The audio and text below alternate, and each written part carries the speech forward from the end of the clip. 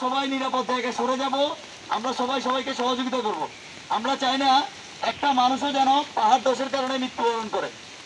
আমরা সবাই নিরাপদ আশ্রয়স্থলে আমরা নিজেদেরকে নিয়ে রাখি। সবাই আমরা আমাদের পরিবার পরিবারজন সবাইকে নিয়ে আমরা নিরাপদ আশ্রয়স্থলে চলে যাই। ধন্যবাদ। কারণে পাহাড় ধসের সম্ভাবনা রয়েছে। তাই আপনারা যারা পাহাড়ের পাদদেশে ঝুঁকিতে বসবাস করছেন নিরাপদ আশ্রয়স্থলে চলে যাওয়ার জন্য অনুরোধ জানানো যাচ্ছে। পাহাড়ের পাদদেশে ঝুঁকিতে বসবাস করছেন। আপনাদেরকে নিরাপদ আশ্রয়স্থলে চলে যাওয়ার জন্য বিশেষভাবে অনুরোধ করা হচ্ছে। জানেন আপনারা? হ্যাঁ? জানেন না মনে হয়? এই যে আমাদের যে পাহাড়টা আছে, আমরা এই যে বৃষ্টি হচ্ছে না অনেক এই বৃষ্টিতে আপনারা অন্য একটা জায়গায় গিয়ে আপাতত থাকেন। পরবর্তীতে নিরাপদ জায়গায় এখন যে থাকেন আবার বৃষ্টি কমলে আবার আসতে থাকে এখন যদি এই যে অবস্থা, যদি একটা পাহাড় ভেঙে পড়ে আপনাদের কাউকে বাঁচানো যাবে।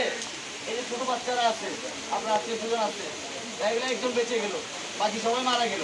তখন কেমন লাগবে? ভালো লাগবে? এই কারণে আপনারা সবাই আপনাদের কাছে রিকোয়েস্ট আপনারা সবাই নিরাপদ জায়গায় যা আপাতত থাকেন। যখন বৃষ্টি কমবে, আবার আসি থাকি ঠিক আছে? ধন্যবাদ সবাইকে।